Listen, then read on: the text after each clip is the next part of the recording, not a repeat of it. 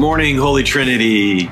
We have a great service for you this morning. Pastor Jackson is preaching, and he's going to be coming from the last part of chapter one in the book of Acts, which talks about the need for godly leadership and how God provides for that. So, looking forward to that.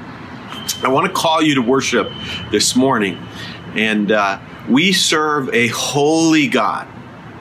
And so, as you come into the presence of God, it's actually important to gather your thoughts, to humble yourself, to reverence yourself before Him. And so, uh, let me read from Psalm 57, something I've been meditating on this week, which David writes, uh, reflecting on the time when he fled from Saul in a cave. And he, he speaks of how God is a hiding place in a moment of danger. So, listen, he says, Be merciful to me, O God. Don't you need mercy? Be merciful to me, for in you my soul takes refuge. In the shadow of your wings, I will take refuge till the storms of destruction pass by.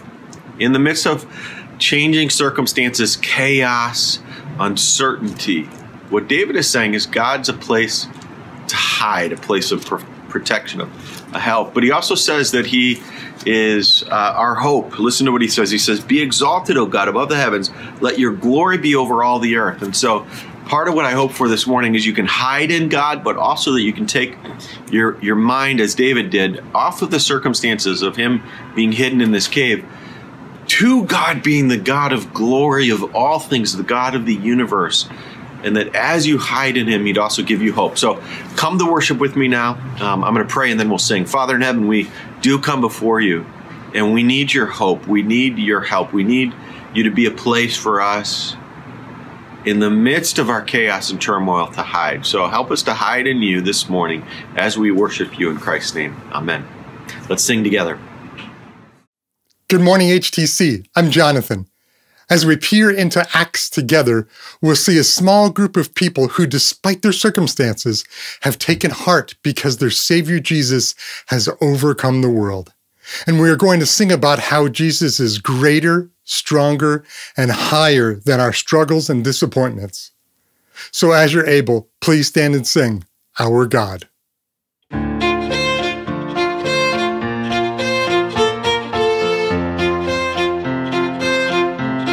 Good morning, Holy Trinity. Happy Sunday again. This is LaShera here.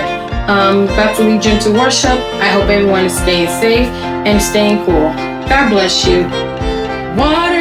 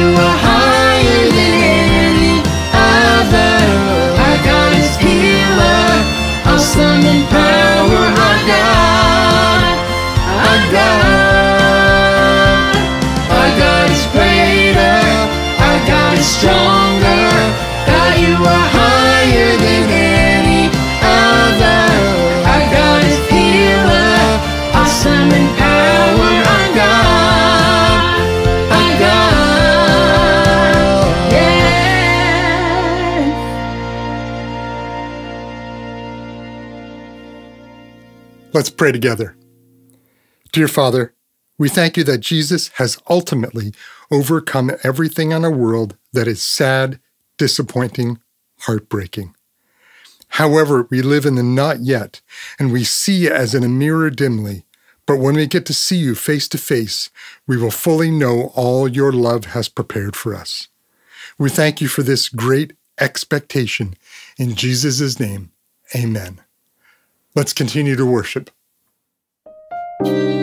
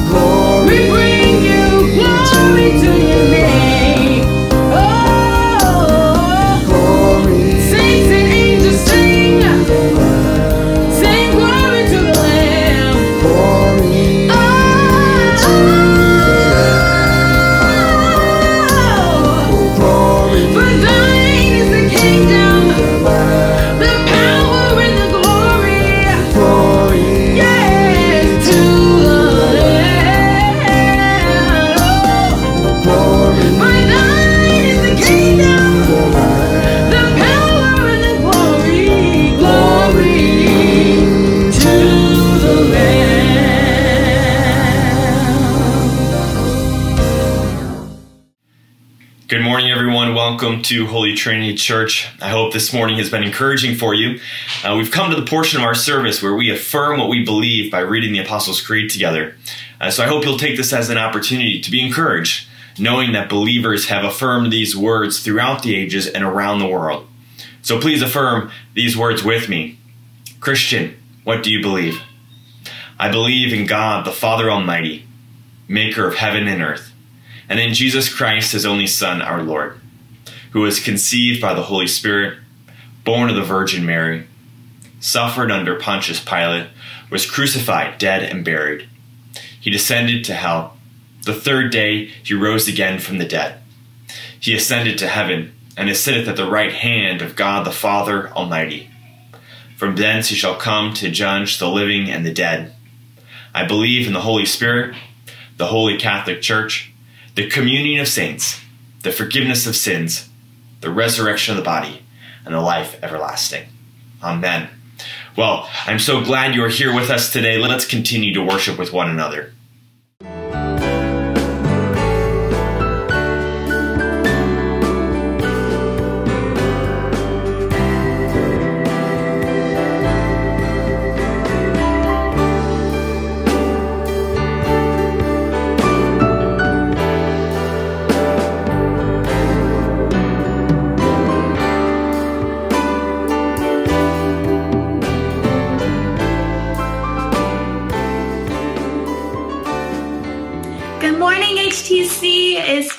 Salinas here, and I have four announcements for you. The first is community groups. So they are launching off and they're meeting virtually based on neighborhoods throughout the city. And so if you're interested and you want to get connected, fill out the form below. Personally, we want to hear about you. We want to pray for you and we want to connect you. And honestly, guys, this is the best way to get involved.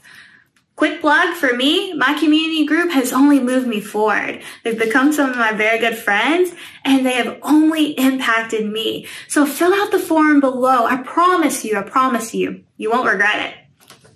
Number two, congregational meeting is happening on October 27th, right the service. So mark your calendar. This is a time where we're going to vote on new officers for the North Side congregation.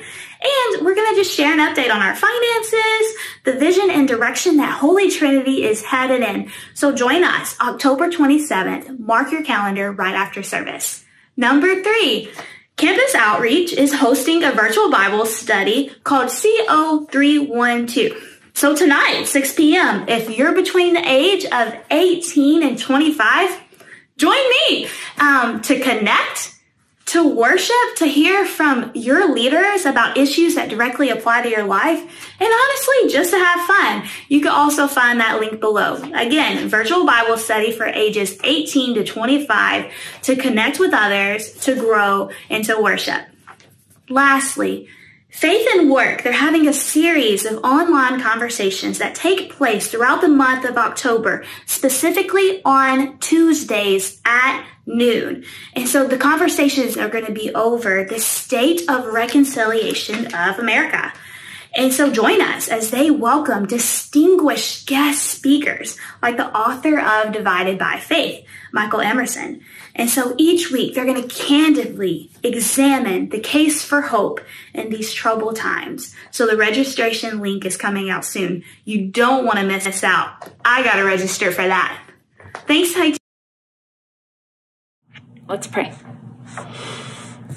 Dear Heavenly Father, we come before you now and we humble ourselves in your presence. Father, when I think about the greatness and beauty of this earth, and then I think about the heavens and all the galaxies, Lord, we're so, so small, and you are so great, and yet you still care for us. Father, thank you. Thank you for your love and your goodness, for your truth. And um, Lord, we are sinners in need of saving. Father, we do not walk in the ways that you command us to. And so we bring before you our sins and we repent and ask for forgiveness.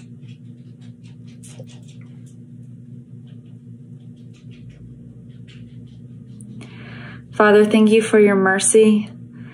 Thank you for the freedom that you provide for us. And thank you for the mediation of Jesus Christ and his atonement. I, I pray from Psalm 147 Praise the Lord, for it is good to sing praises to our God, for it is pleasant and a song of praise is fitting. The Lord builds up Jerusalem. He gathers the outcasts of Israel. He heals the brokenhearted and binds up their wounds. He determines the number of the stars, and he gives to all of them their names. Great is our God and abundant in power. His understanding is beyond measure. The Lord lifts up the humble, and he casts the wicked to the ground. Lord, I pray, like Jerusalem, that you would build up this nation. Father, we are in a t- time of turmoil and distress and uncertainty.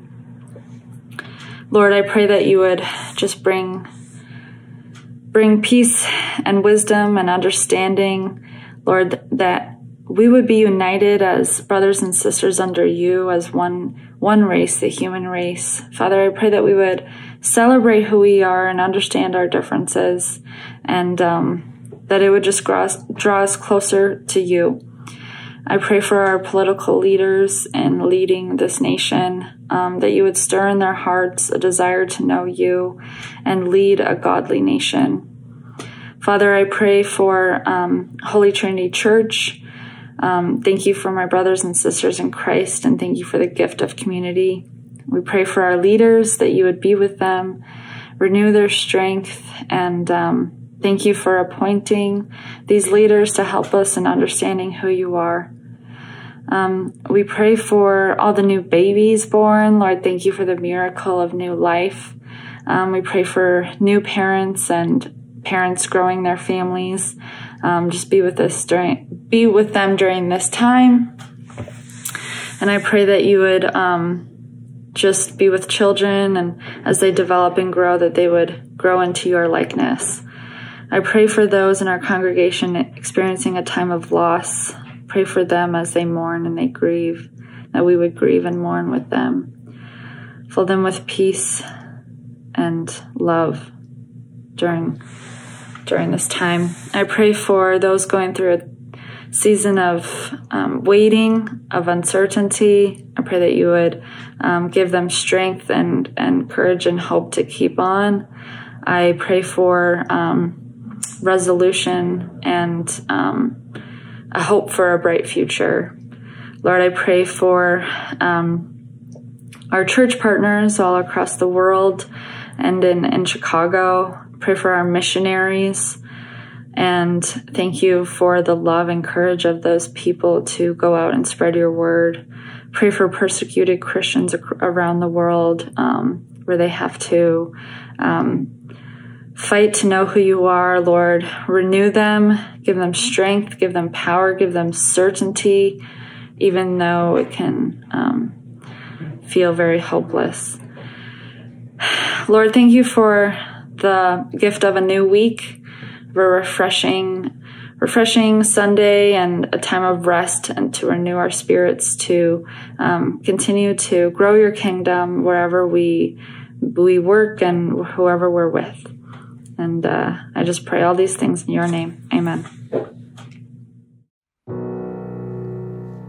If you are able, would you stand and sing with me?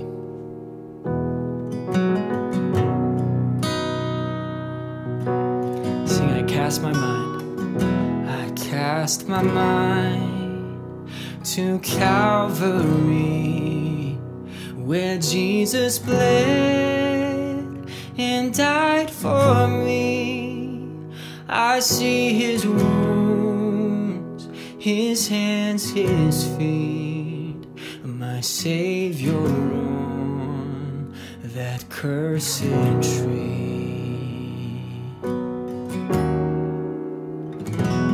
Body bound and drenched in tears, they laid him down in Joseph's tomb, the entrance sealed by heavy stone, Messiah still and all alone.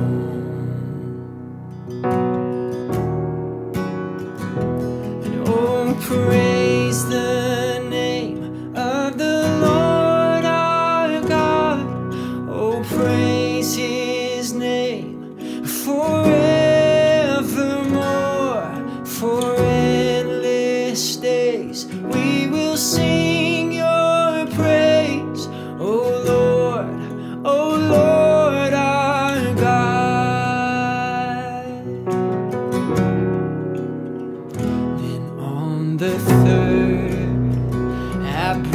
Of dawn, the Son of Heaven rose again. Oh, trampled death, where is your sting?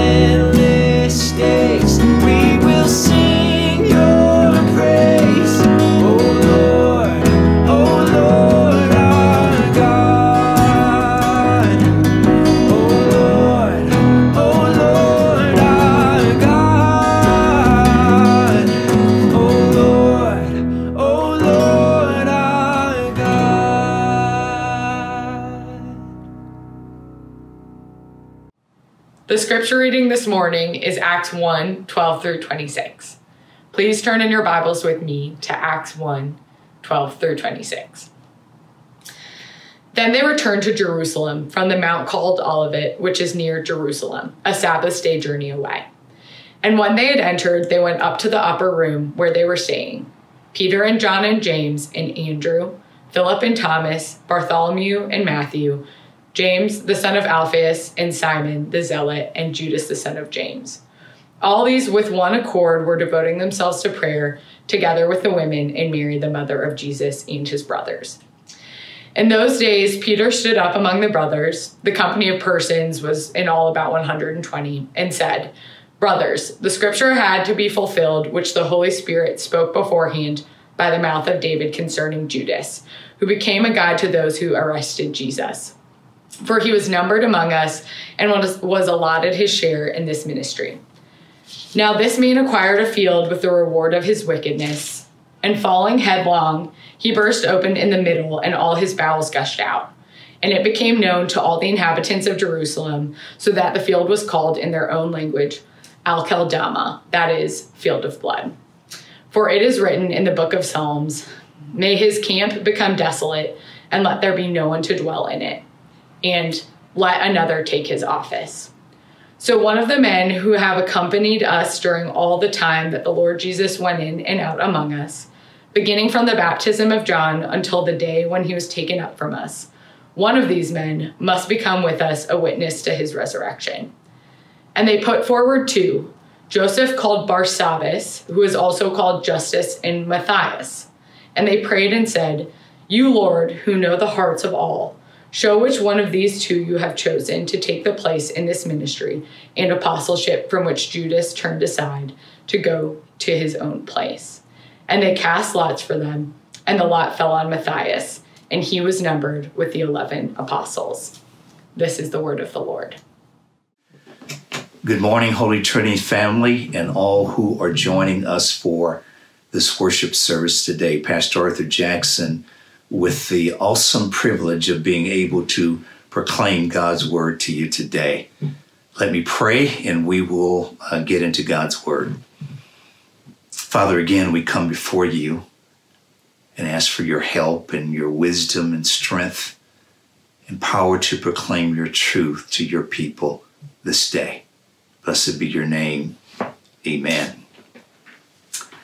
Acts chapter 1, verses 12 through 26. Already we've heard two messages from Acts chapter 1. And when we get to our text today, we notice that the scene has shifted from what we've seen over the last couple of weeks. Physically speaking, Jesus is gone. Huh? He has ascended back to the Father. But before he did that, he had ordered his disciples to not depart from Jerusalem. They were directed to stay there in Jerusalem to wait for the Holy Spirit. The Holy Spirit, the power that was necessary for their task, and it is necessary and essential for our task today to make disciples of the nations. As we consider their experience in that day, I've chosen two headers to help us to understand this great passage that is before us and to understand its implications for today. There is, number one, a biblical window through which we get to see a beautiful community. And number two, there is an implicit biblical warning that you and I need to heed in our day.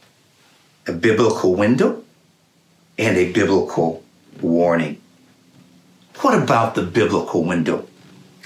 In Acts chapter 1, verses 12 through 26, this is the only biblical window that enables us to see what happened between the time that Jesus ascended back to God in glory and the descent of the Holy Spirit on the day of Pentecost. Huh? When we look at these, uh, this 15 verse window, if you will, what is it that we really get to see? Based on Jesus' executive order, and we can see that in Acts chapter 1, verses 4 and 5. Based on that, they were to go to Jerusalem and they were to wait for the power for their assigned mission. Why? Wait, after all, they had been with Jesus for three years and, and had seen the wonderful things that he had done, heard his powerful and awesome words. Oh, but Jesus was gone. And they were powerless within themselves to carry out the mission that Jesus had given them. And guess what, friends? So are we, huh? His disciples obeyed his command and they made this trip of a little over half a mile from Mount Olivet or the Mount of Olives where Jesus had ascended to Jerusalem. And did you notice the first thing that we see in the text? There is a group of 120 people, men and women, who are assembled there together in the upper room. And this group, if you notice there, is not totally anonymous. These were everyday people uh, who had followed Jesus, and they're not anonymous because we see their names beginning in verse verse 13 that include the level the 11 remaining apostles, Judas gone, And we also see some additional name, one at least one additional name in verse 14, huh? They were there. These apostles, and as we look at this particular list, we see Peter, as he is in other lists of apostles, he's first in line there. Huh? We see their names. You got Peter and John and James and Andrew and the other apostles there. Huh? Their names are there. These are not just anonymous people, but people that had followed Jesus. I mean, this is a historical, actual account that we see here. They were people like us with hopes and dreams and aspirations and fears and doubts. Huh? Not one among them had not struggled at times with his or her faith or with their desires to even see a fuller realization, a now realization, full blown uh, uh, realization of God's kingdom. But that was not to come. But they lived and they wrestled with the tension of that while at the same time moving forward, sometimes not without stumbling, but they were moving forward in faith. They were real people, just like you and me. The group included uh, in verse 14, it says, the women. Who were these women? They were likely the women, at least some of them were the women that Luke had mentioned in Luke chapter 8, verse 3, that included names like Mary Magdalene and Susanna and Joanna. These were women who had supported Jesus from their means, Jesus and his, his, his band of apostles who were ministering in that day. I would like also to think that Mary and Martha of Bethany were there. They were women who loved Jesus and followed him. Huh? One woman is named for sure Mary, the mother of Jesus. She was there. And according to what we see in verse 14, so were his earthly brothers, likely the children of Joseph and Mary. They were late adopters, if you will, in believing in Jesus, but eventually they came around. Among Jesus' earthly brothers was James, who eventually became the head uh, apostle there, the leader of the church in Jerusalem, and then Jude, who also, uh, with James, wrote one of the letters in the New Testament. Who was it that was in the upper room in that day? People who have been captivated by Jesus. They had been captivated by him to the point that their lives had been disrupted. Huh? They left their businesses. They left their jobs. They left their homes. They abandoned the lifeless, hypocritical religion of their day. They, friends, wanted more. They heard Jesus talk about a different kind of kingdom. They heard him talk about taking up their crosses and laying down their lives, yet still they embraced him, huh?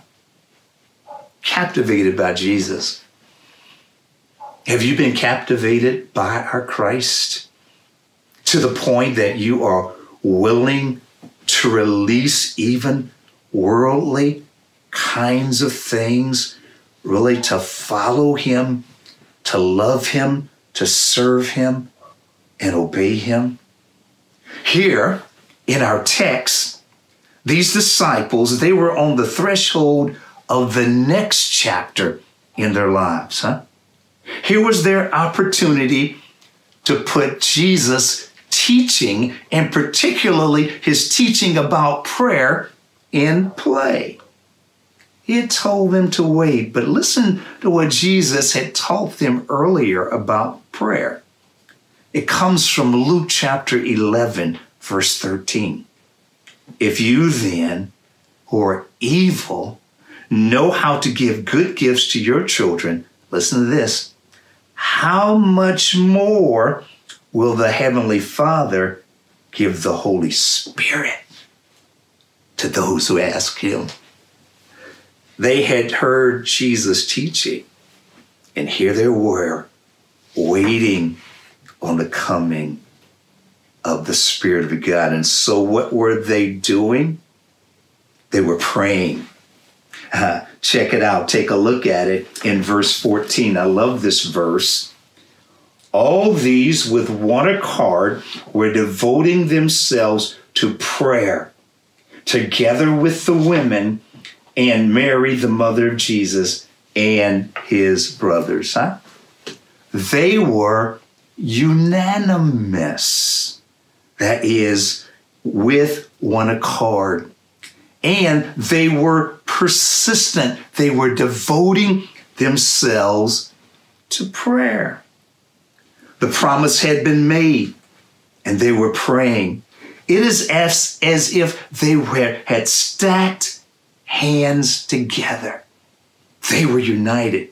They were all pulling in the same direction.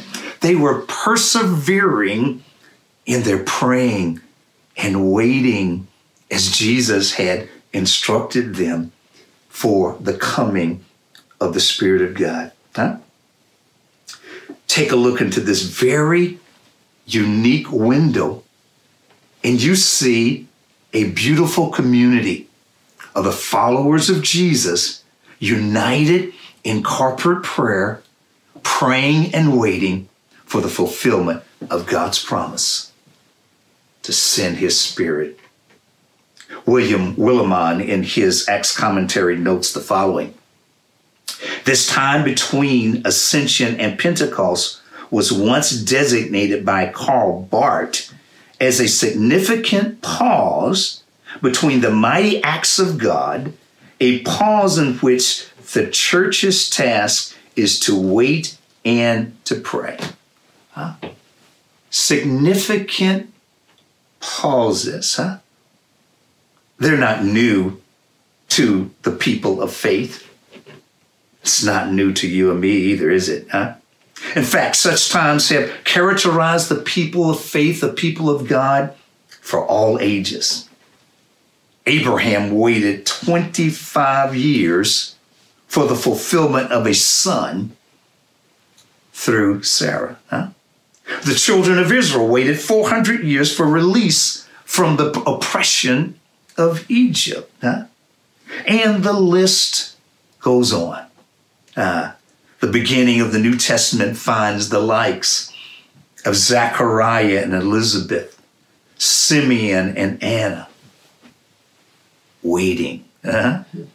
By comparison, the wait between the ascension and Pentecost is so very small.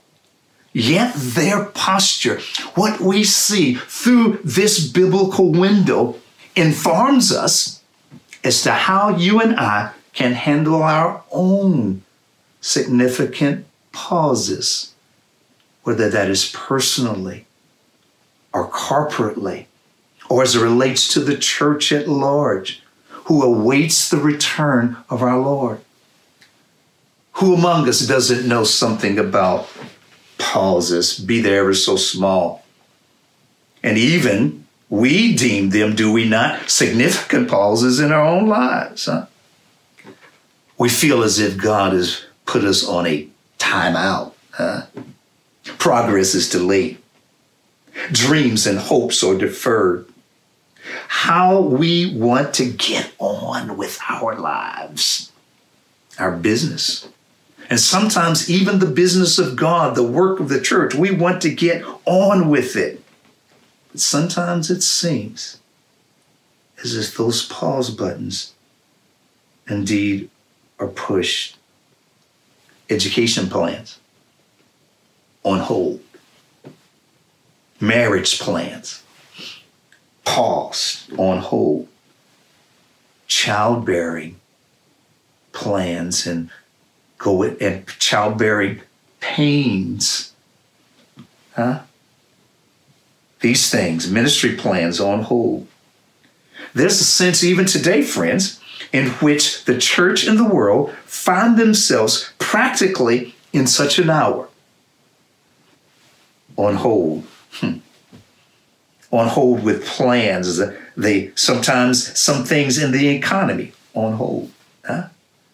This COVID moment, huh, what a season we find ourselves in, find ourselves restrained from doing what we might want to do. How do we respond? There's no explicit command in our text to wait, but what we see here is very significant for na- navigating significant pauses, those blessed spaces, let's call them, between promise and fulfillment. And we instructed, you and I are instructed of what we see here. In the text, our Lord, and even now he's returned to heaven. He has presently sent his Holy Spirit. And the next big event that you and I wait for, the next big event on the divine calendar is our Lord's return in glory, his glorious return. And even now, the church has been waiting for centuries, but it's not an hour for you and me to give up. It's an hour for you and, and me to press on in mission. Praying and waiting that's what believers in Jesus do. And what we see here is absolutely beautiful. This, this picture, this snapshot. As we look in this window, we can peer. Think about the, the praying, and, and if you could just get an earful, no doubt it would draw us in with them and compel us to join them by what they're doing. It's beautiful. This is a Psalm 133 in one moment. What, what does that say? Oh, how good and how pleasant or how beautiful it is when brothers dwell in unity. That's what we see in this text. This beautiful community of Christ's followers uh, today has grown beyond this Jewish nucleus that we see in this first believing band, huh? God's beautiful community today, friends, includes Jews and Gentiles, huh? People from every nation, kindred, and tongue are part of God's beautiful community, huh? It includes the likes of all who hear these words today. I don't know exactly where you come from, don't know your background, but if you are a believer in Jesus, it matters not uh, the place where you come from. It matters not the color of your skin. It matters not what's in your bank account. If you believe in Jesus, we share a common communion. We share a common identification in Christ's death, burial, and resurrection. And even we are seated with him even now in the heavenlies in Christ. What a beautiful community. Those who have seen and are being captured and captivated by Jesus are amongst our family. Praying and waiting is our posture as believers. Hmm? I've had the privilege over the years of being in prayer meetings and sometimes all night prayer meetings. Huh? And sometimes in expressing prayers to God, simply chanting or singing to God, I've heard the saints say, waiting, huh?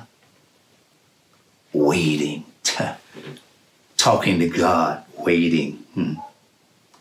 And then they would add to it, they would say, We wait on you. We wait on you. We wait on you. Huh? We wait on you. We wait on you. We wait on you. Waiting.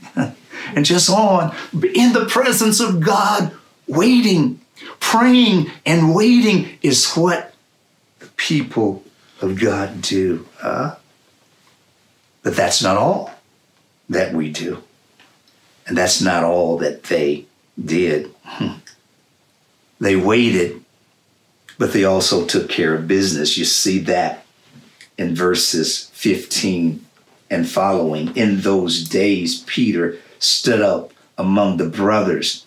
The company of persons was uh, all about 120 and said, and it goes on down, he takes care of business. The waiting time, and this is what I want to say in this waiting time need not be wasted time for the church. Hmm? Waiting time need not be wasted time for the church. The main agenda item that came into view in the text was the replacement of a leader. A vacancy in the apostolic ranks was created because G, uh, Judas had defected. He had betrayed Jesus and he went on to his fate. He was not there. There was an empty chair around the table, if you will.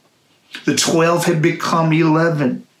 Don Carson notes this the number of 120 here is, is more than just a round number. This is the smallest number in Jewish tradition for a population that could have its own council. There was a tradition that each judge should rule or represent at least 10 members. And maybe, therefore, that Luke is suggesting that the young church was already a community in its own right, and that a 12th leader was required. Huh? They were taking care of business. The community needed the 12th leader. How then did they go about the business at hand? As we already have seen in verse 14, corporately and prayerfully and carefully. And here the business is filling a vacancy in order to get the right person on the team. Hmm? Well, they saw, I mean, if you see here, we don't have time to go into it all. But as we look here, they saw portions both of Psalms 69 and 109 as applying to Judas, who had fallen from his sacred office and who needed to be replaced. That was the work at hand. Huh? They did what they could in narrowing down. They had some some objective criteria. That is here, it had to be one who had accompanied them from the beginning of Judas Jesus's ministry. And in their own way, they narrowed it down to two, but then they appealed to God. They did the things objectively what they could. They measured by certain standards that were there. But then they appealed to God. And we notice how they appealed to him in verse 24. And they prayed and say, said, Lord, you, Lord, who know the heart of all, show which one of these you have chosen. Huh? They did what they could do, they took care of business, but then appealed to God to do what He alone could do. Huh? And Matthias ended up getting the call. Huh? Through this biblical window, we see the disciples of Jesus.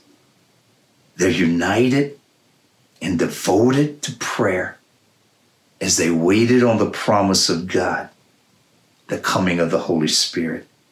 And they were diligent to take care of the business at hand.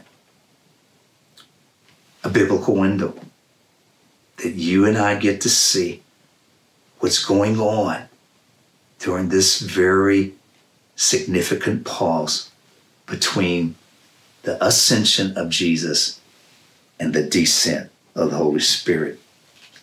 But we also have in this text a biblical warning that we need to heed.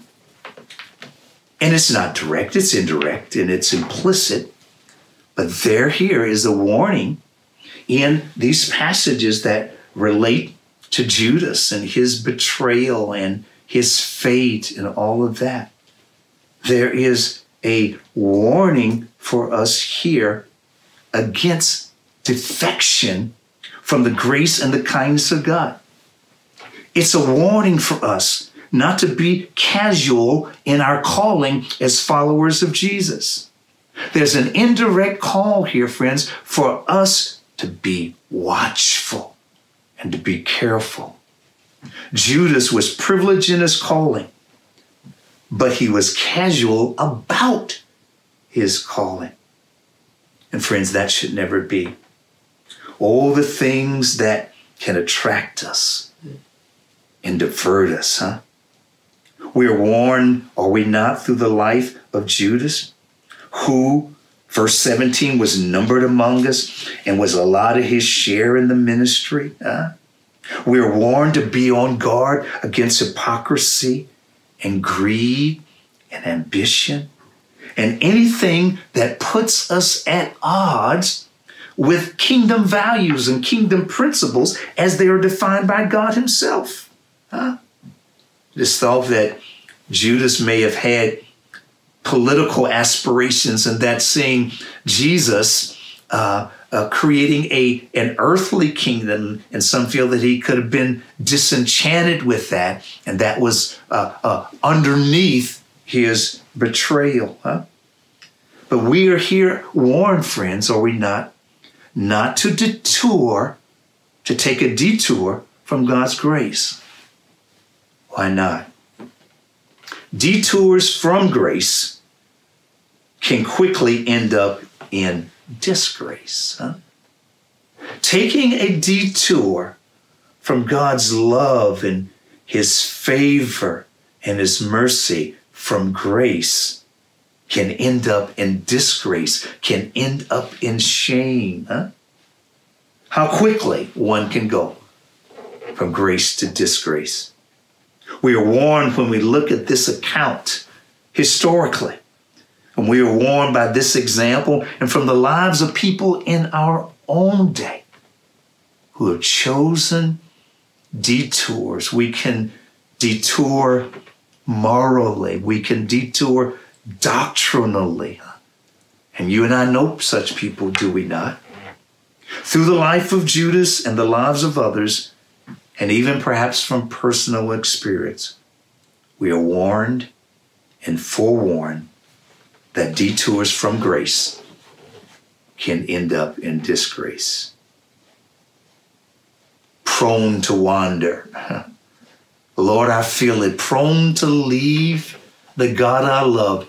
Here's my heart. Oh, take and seal it. Seal it for thy courts above. Daily we can be tempted to detour from God's grace. None of us escapes temptations and distractions, huh? detours from grace can put us in a fog of despair. And sometimes it's difficult for us to find our way back home. Oh God, have mercy as you think, think of those who may have walked with you for a stretch of the road and as you look at their lives today, where are they? Some trying to find their way back, but seemingly can't do it, huh? Oh, on the one hand, it's sort of a dark scene or a dark thing to think about Judas, but there is a bright spot here, is it not? Because we see Peter, huh? Peter embraced grace. Peter knew something about detours. But guess what, friends? he found his way back. And we see him in this text restored not only to a place of grace, but to a place of leadership. This is the same Peter who three times denied that he knew the Lord Jesus. But he had been restored. How had he been restored? He had been restored through repentance and God's grace. And oh, that's the same path of to restoration today. You may be listening to me and you're taking a bad turn or two. Huh? Repentance is turning around. And can I encourage you to turn around before you go too, go too far? Before you reach that perhaps point of no return, turn back even now, huh? The restored Peter, friends, was a part of the beautiful community that we see here. And Luke will go on to show, particularly in Acts chapters 1 through 12, that the very prominent role that a restored Peter filled and fulfilled in the infant church. huh? Such, friends, is the nature of God's grace. I close on today with Peter's words found in 1 Peter 3, verses 11 through 13. And there he's speaking about the end of the age that and the Lord's return. Listen. Since all these things are thus to be dissolved, the elements in in and of the world, what sort of people ought you to be in lives of holiness and godliness? And here's our word waiting for and hastening the coming of the day of God, because of which the heavens will be set on fire and dissolved, and the heavenly bodies will ma- melt as they burn. But according to his promise, there it is, isn't it? We are waiting for the new heavens and a new earth in which righteousness dwells. Huh?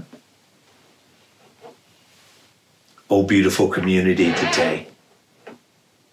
May the Lord be with us and strengthen us as we assume our posture as our believing forebears did in their day. Our mixed up world needs the kind of people that we see in our text, the kind of people that we aspire to be and have become and are becoming. People who navigate the space between promise and fulfillment. So beautiful community today. May we be prayerful and careful. May we be faithful and fruitful, watchful and hopeful. Our world needs that kind of people. And may the Lord strengthen us to be nothing less. Shall we pray, Father in heaven? Thank you for this text in which we have a biblical window. We get to see your people praying and waiting, but a biblical warning, an implicit warning is that we would not defect or depart from grace. Be with us is our prayer. In Christ's name, amen and amen.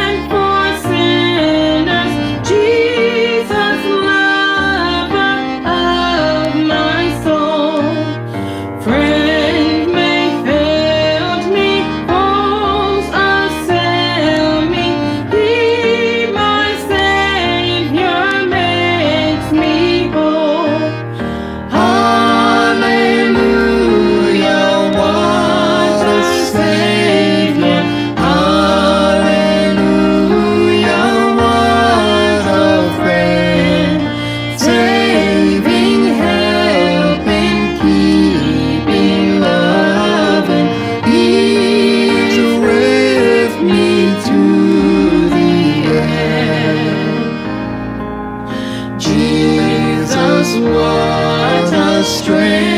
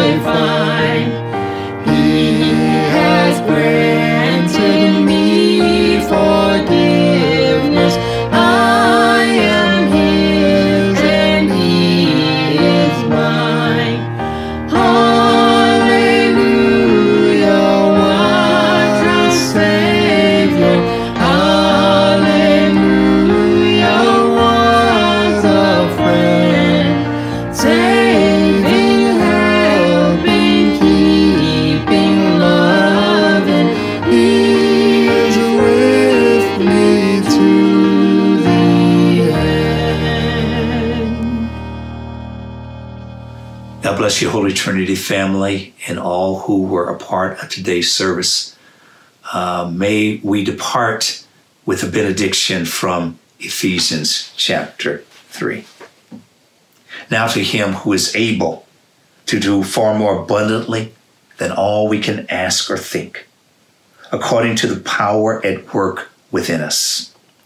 To him be glory in the church and in Christ Jesus throughout all generations, forever and ever. Amen. God bless you. Have a great week.